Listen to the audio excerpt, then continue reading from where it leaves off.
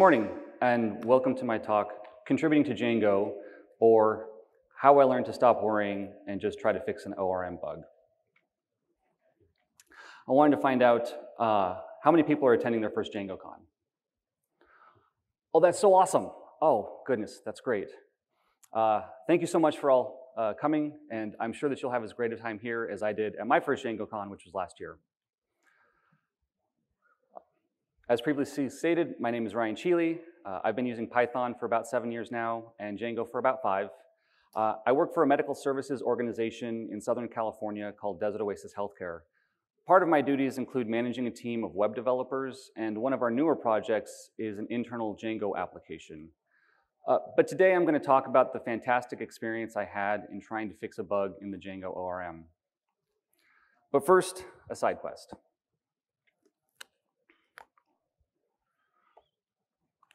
This is a picture of the trail crest, uh, trailhead at uh, Mount Whitney. When I was 15 years old, my Boy Scout troop did a hiking trip to Mount Whitney. Uh, for those of you that don't know Mount Whitney, it is the highest peak in the contiguous United States with an elevation of 14,500 feet, 505 feet.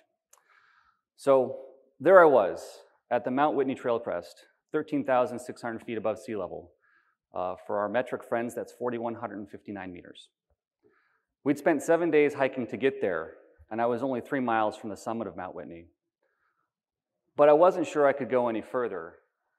You see, my hiking companions told me I didn't look so good. Honestly, I didn't feel so good either. Did I make it to the summit? Well, I'll say that trying to get to DjangoCon US at times felt an awful lot like trying to get to the summit of Mount Whitney. You see, I've been trying to come to DjangoCon since 2018, but I had a work conference that conflicted the same week, and so I was unable to attend. In 2019, the same work conference, the same week as DjangoCon, made it impossible for me to go two years in a row. In 2020, I was really, really determined to go, but we kind of locked down the world and none of us got to do anything that year. In 2021, I was able to attend the online version and I had a really great time. So much so, it encouraged me to do whatever I could to make it in person in 2022. And I finally did.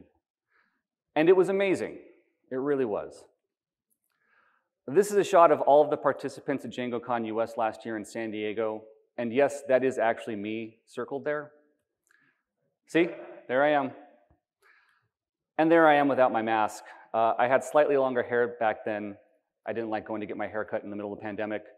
And there may have been a little less gray in my beard because I'm a year older now.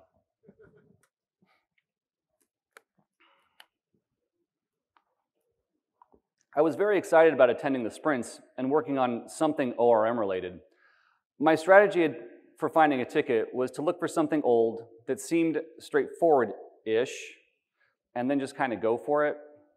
I'd spent some time during the conference trying to find something that met that criteria. And by the day of the sprints, I've been able to narrow it down to a single ticket. So the criteria, was it old? It was open in January of 2009, making it almost 13 years at the time of the sprints. Was it straightforward-ish? It was related to SQLite, which is a bit easier for me anyway to get set up as a database. And with that, I settled on ticket 10070, which was titled Named parameters not working on raw SQL queries with SQLite, first reported by Matthias Surdi.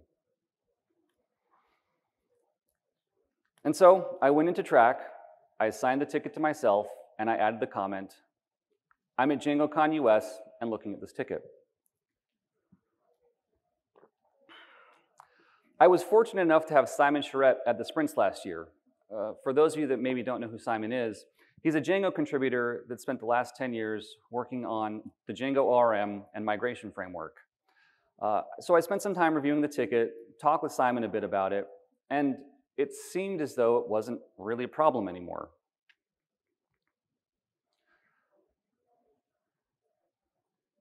So I added a comment to the ticket. In looking at the tests in raw underscore query slash tests, I see a few tests that already exist. These are already available and appear to be testing the very thing that the ticket is asking for. And with that, I mark the ticket as done.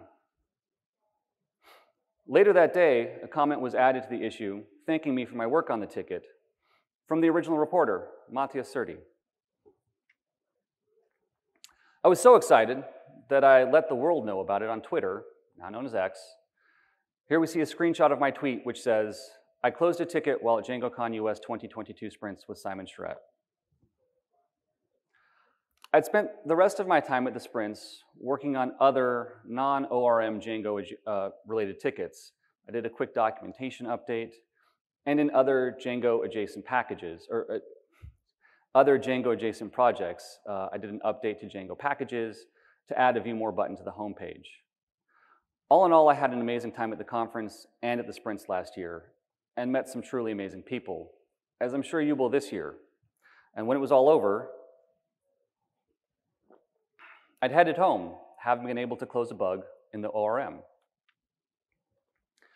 And I felt really, really good about this.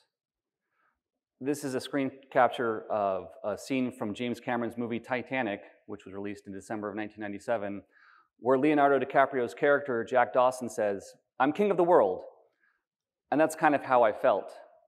A true story, I've never seen this movie. I might be the only one.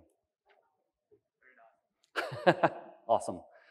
But then, another comment by Shai Berger, who's a member of the Django security team. Sorry, this is still broken on SQLite. The additions and fixes mentioned are mostly for Oracle and other backends. The SQLite backend, at the time I write this, still has supports param style PyFormat equals false, and still borks with a syntax error if you try to replicate the session in the ticket description. But what is supports param style PyFormat? Well, it's a flag that indicates whether or not support for PyFormat style is, is available. Uh, this indicate, that indicates if the backend SQLite, Postgres, Oracle supports the PyFormat style, which looks like this. There's a lot of stuff up there. And for SQLite, this was set to false. Oh no. I was faced with two potential choices. Choice one, I could ignore the bug. It had been a bug for years. As you'll recall, it was opened in January of 2009, and it didn't seem to have caused any major issues.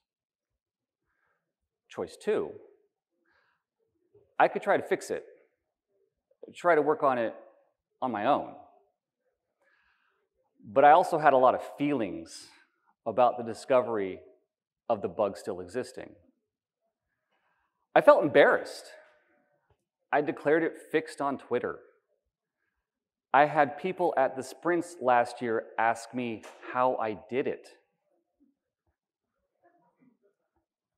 I felt disappointed. I, felt like I let people down. I felt like I let myself down. And fear. Imposter syndrome started to sink in. That voice in the back of my head asking, Can you really work on this on your own? Do you really have any idea what you're doing? But then I remembered a talk that Carlton Gibson gave at DjangoCon US 2018 titled, Your Web Framework Needs You. It's an amazing talk. If you haven't seen it, you totally should. If you've already seen it, you should watch it again. It's great. Here are the highlights that I got out of it. The vast majority of tickets are no harder than the work you do to solve problems every single day using Django. Yes, they need time. Yes, they need thought. And yes, they need potentially a little bit of your love. But if you get stuck while trying to solve it, you can ask for help. The review process is challenging, but everyone gets the same process. It's not personal. Where I work, we try to always make code reviews about the code and never about the person who wrote the code. We all want the code to be the best that it can be, and these code reviews, while challenging, will make the code better and you'll more likely than not learn something. I found this to be true as I worked on this ticket. It was never about me, but always about making the code better. You can do it. You are qualified. If you spent time working on an issue, you are the world expert for that ticket. And to drive home that point, I'm going to talk about a comment on another ticket. In June of 20, 2021, Sarah Boyce, who's now a member of the triage and review team, posted a comment on ticket 32359. I was wondering if this is being worked on or if I could try and pick it up. Happy to work on it in a group as well. To which former fellow Carlton Gibson replied, Hi, Sarah, you're very welcome to pick it up. I'd suggest an initial time-boxed investigation to work out what the state of play is. At that point, you'll be the world expert on the issue, so you'll either have an idea or you'll want input. If you open a PR at that point, even just adding comments in the second case, to explain what's going on, it's easier, easier for others to get up to speed and provide input. And so with that, I went back to working on the ticket again. And I did what most of us probably do when we're assigned a ticket for work or an open source project or a personal project. And in all honesty, I should have done a better job when I was at the sprints last year. Write down what you learned. Replicate the bug. Read some docs, which can include doc strings. Write some code. Test the code. But obviously, before we can write down what we've learned, we're going to have to go learn some stuff. So, first, I set up the connection to point to a Postgres database. Here we see the standard connection using the Postgres Django database engine. And taking code from the original ticket, I put it into the REPL, and when we run this, it runs without error, as expected. Now, we swap out the Postgres connection and put in a connection to a SQLite database. Here again, we see the standard connection using the SQLite Django database engine and try to reproduce the bug. Again, taking the code from the original ticket and putting into the REPL, we get stack trace, which is what the bug told us should happen. Now, there had been a comment posted by Baptiste Mispelon in November of 2019. Their comment was, I don't know how recent it is, but SQLite does support named parameters, albeit with a different syntax. Both of these work on my machine, and Baptiste gave two com commands that work. Baptiste then asks the question, do we want to try and make the syntax consistent across all backends, or would it be enough to document the syntax for each one?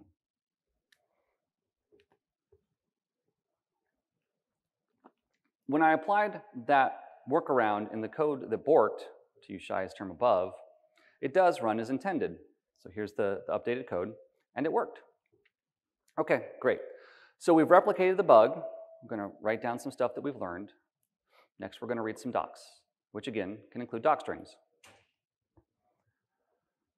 Now, the second to the last line of stack trace says Django slash DB slash backends slash SQLite3 slash base.py in line 357 execute.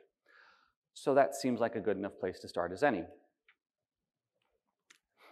And when I look at that line in that file, I see that there's a class called SQLite cursor wrapper, which has three methods, execute, execute many, and convert query. Here we see that both execute and execute many call upon convert query. So my next thought was, let's go take a look at that. And here we can see the entire method for convert query is just a single line that uses format underscore qmark underscore regex.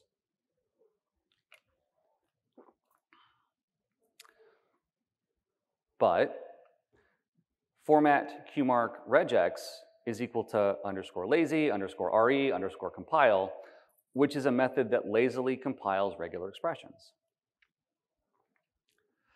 And in looking at that helper method, we see that it, has, that it compiles a regex with flags and has two parameters, regex, the regular expression to be evaluated, and flags, which will modify the behavior of the regular expression compilation.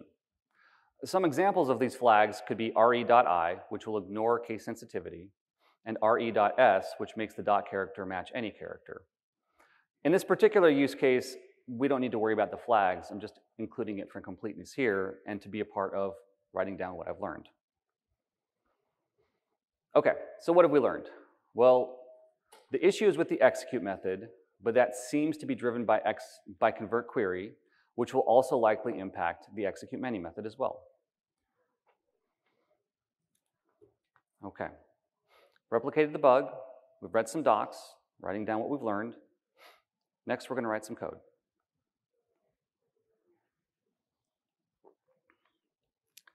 Now, I've got some ideas for a fix at this point, and we know from previous slides that this select statement will fail while this one will succeed. So one solution could be to somehow transform the first statement into the second statement, accounting for all the ways that someone could put a, in a parameter set. So my idea was to use a regular expression. And so we want to go from this to this, which means that we want to replace close paren s with an empty string, percent open paren with a semicolon to get here. And this transformation can be done with the regular expression seen on the screen here.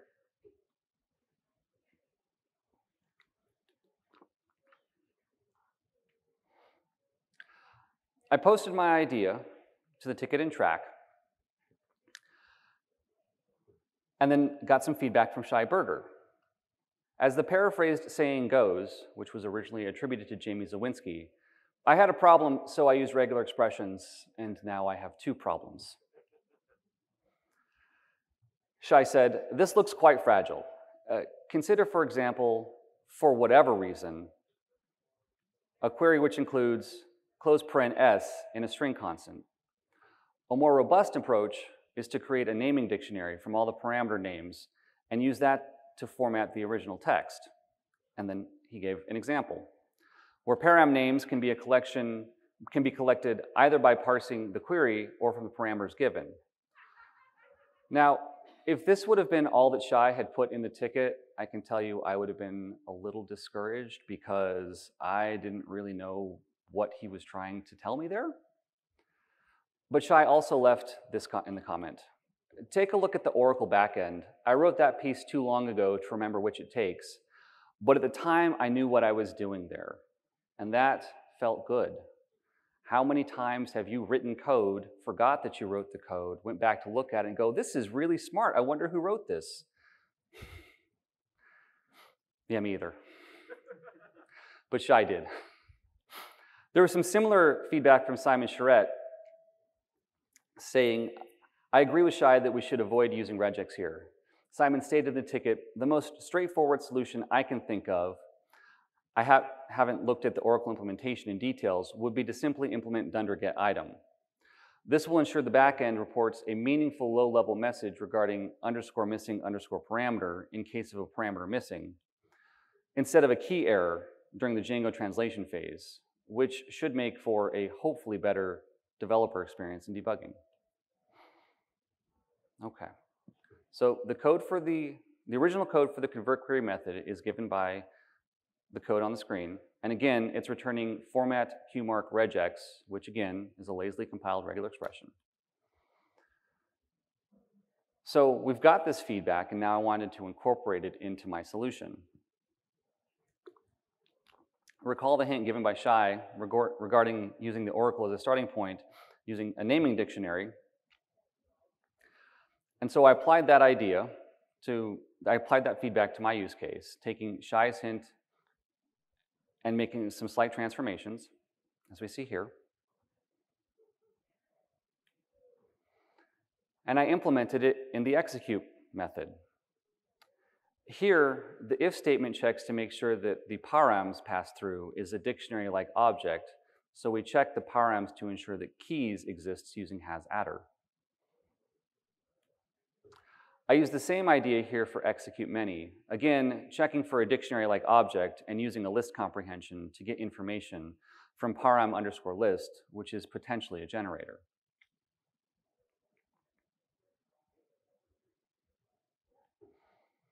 Okay, so we replicated the bug, read some docs, wrote some code. This whole entire time we've been writing down what we've been learning. Next, I need to test the code.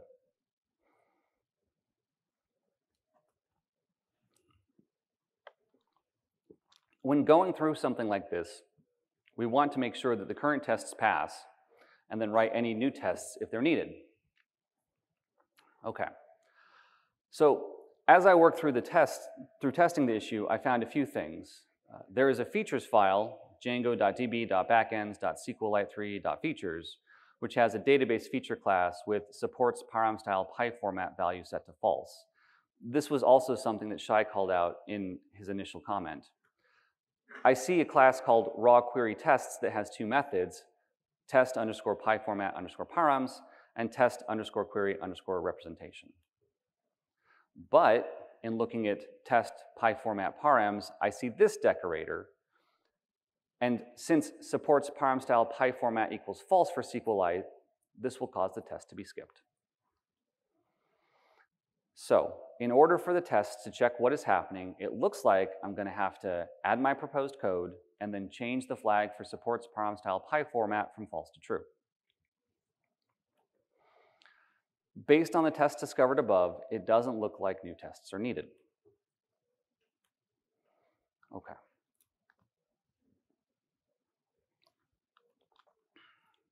Before changing the code, let's see the outcome of running the two tests above. And we can use this command right here, which uses the Django test runner and then the K flag to specify which tests we want to run. And when we run it, uh, they, they pass as you would expect.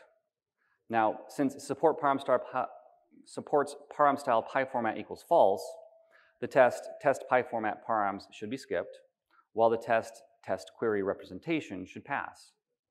And as expected, here we see the test results. One test is skipped, denoted with an S, and one test is passed, denoted with a dot. Okay. When working in a situation like this, the strategy I use is something I'm calling a possible state testing matrix. I'm not sure where I got this idea or term from, but I'm pretty sure I didn't come up with it on my own. So what are our possible states? Well, there's the original state, that is, where the flag is false with the original code. Here we should have one test that passes and one test that skips. A broken state, that is, when the flag is set to true with the original code, where one test should pass and one test should fail. This is why the bug exists in the first place. A check state, where the flag is set to false and the code is updated. Here is in the original state, state we should have one test that passes and one test that skips. And finally, the desired state, where the flag is set to true with the updated code. Here we should have two testing passes, two, two tests that pass, and we can celebrate. Now, while I'm only focusing on these two tests during development, we also need to make sure that the entire test suite passes. So after I got to a point where those two tests had passed, I did run the entire test suite, and it did continue to pass. Okay. Now, so I've replicated the bug, I've read some docs, written some code, I've tested the code, and I've mentioned a lot of times here writing down what I learned as I learned it. And this was one of the most important parts of this entire process. And I'm sure that we all do this, right? As we're learning new things, we write them down. I had never done this before, not until working on this issue. I was inspired by a talk given by Simon Willison at DjangoCon US 2022 titled Massively Increase Your Productivity on Personal Projects with Comprehensive Documentation and Automated Tests. Try saying that three times fast. In that talk, Simon included an idea called public notes. This is another talk I highly recommend watching, and if you've already seen it, watch it again. This was the first time I had used this idea, but I've used it a, more, a few more times since then as I try to learn about a thing.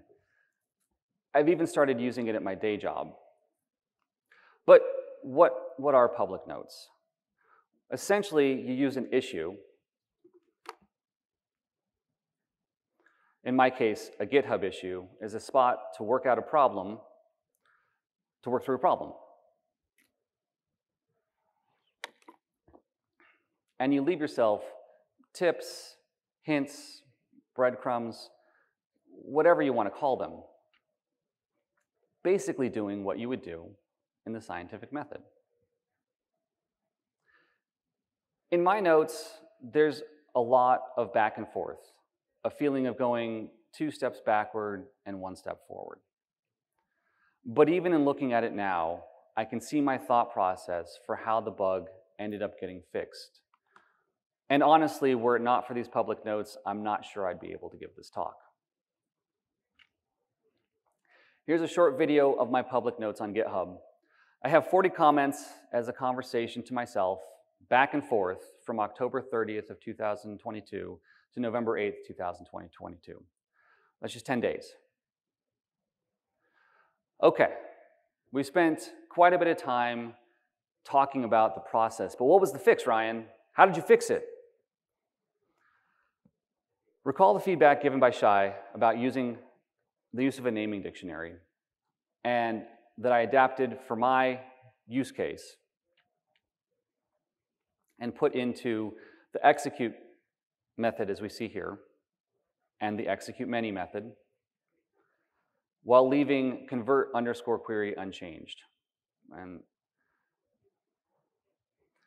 when I pushed up my code to, to GitHub, there was a comment added by Nick Pope.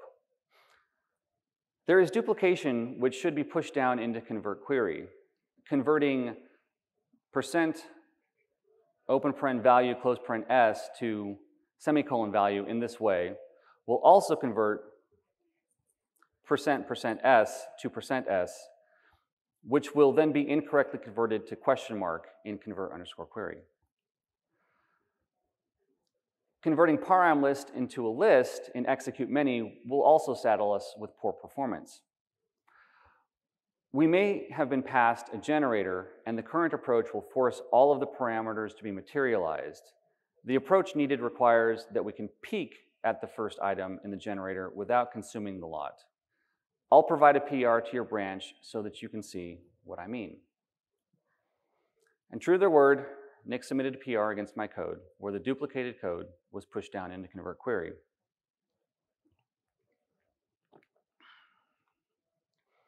And updates were made to the execute method.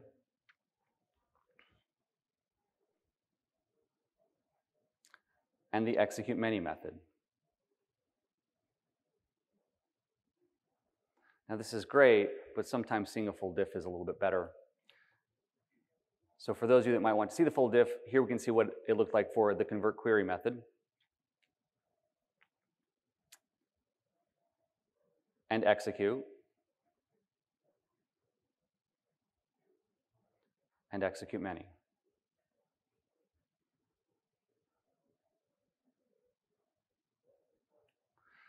As a bonus to all of this, the SQLite docs in the Python standard library got updated.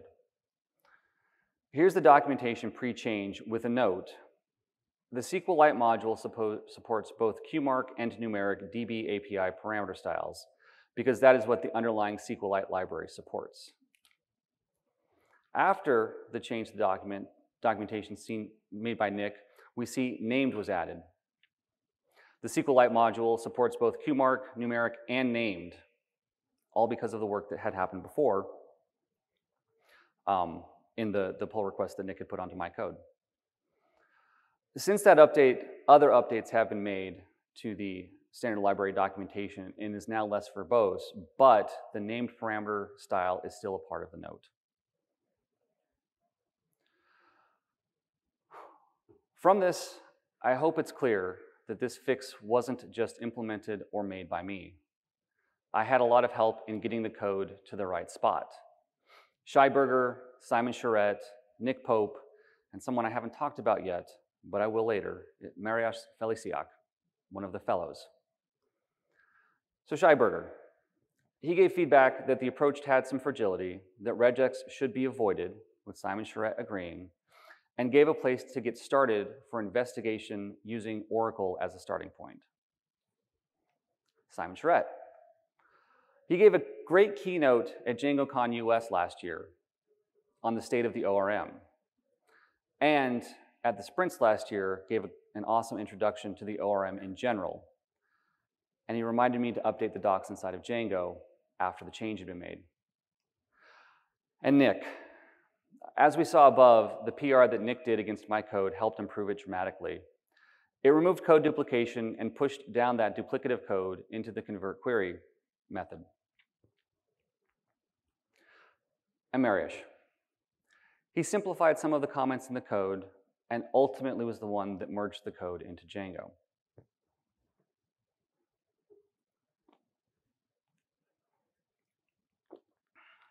I hope I've been able to convey what a positive experience this was for me. I also hope I've been able to convey how much I learned. Uh, this process taught me more about SQLite, specifically that it does support PyFormat style.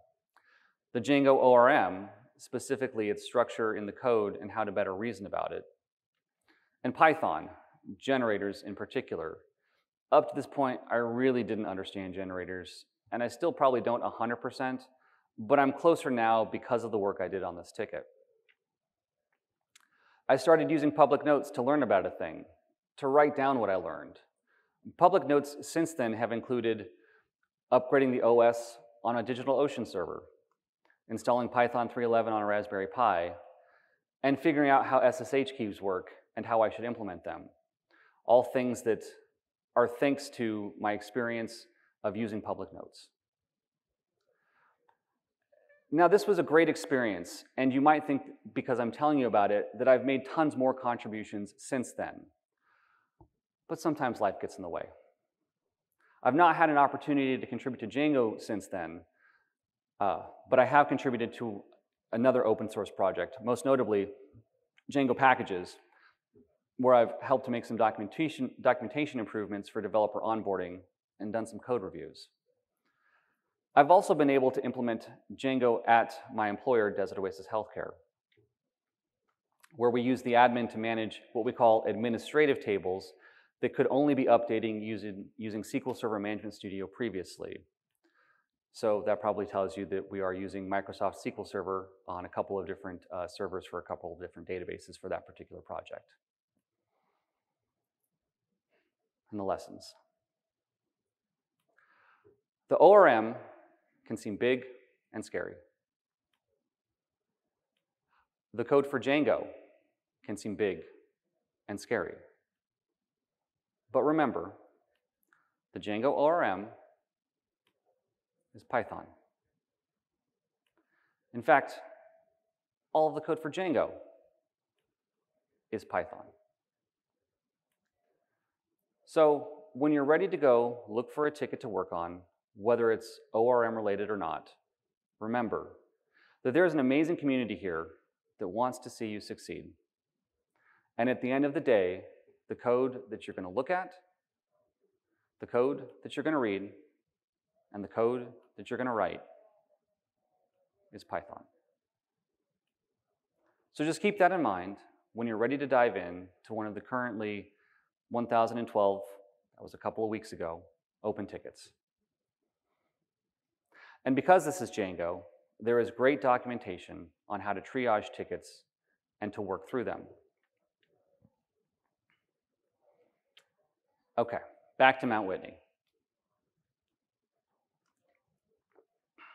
As I said before, I was only three miles from the summit, but I just wasn't feeling it.